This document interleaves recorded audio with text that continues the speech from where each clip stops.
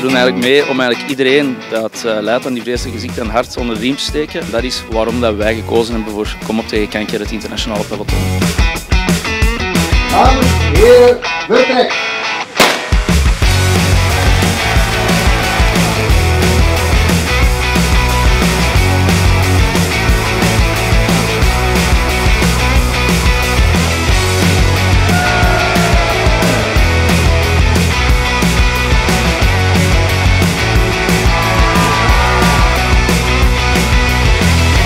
Het weer zit ook fantastisch mee en de sfeer in het peloton is uh, top. Heel veel mooie momenten, maar ook wel een aantal uh, ja, toch wel pittige getuigenissen. Dus ja, heel blij dat ik hier aan mag meedoen uh, ten voordele van het kankeronderzoek.